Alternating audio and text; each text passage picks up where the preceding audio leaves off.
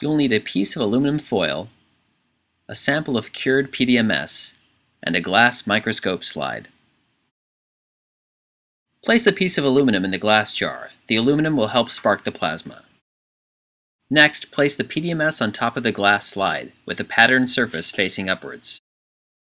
Insert the glass slide and PDMS into the glass jar.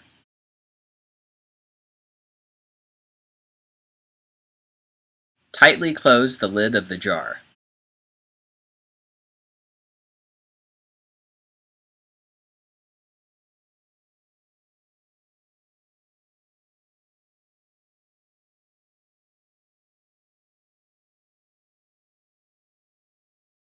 The glass slide should act as a barrier between the PDMS and the aluminum.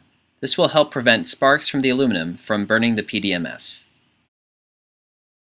Next, using a vacuum pump, evacuate the glass jar down to a pressure of 6 torr or less. Higher pressures will make it more difficult to spark the plasma.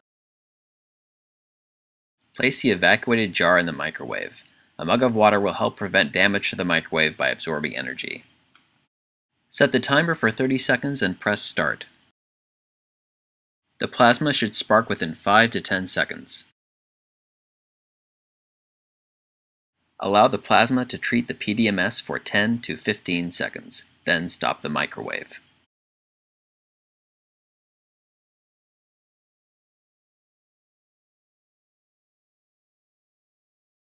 After stopping the microwave, allow the jar to cool for at least 5 minutes.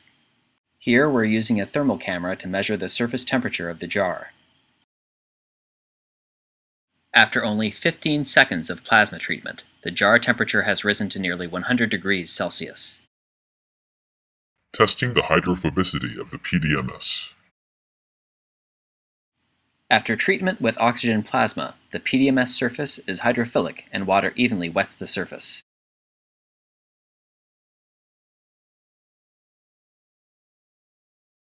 However, if the PDMS is burned by the plasma, the soot will cause the surface to become very hydrophobic.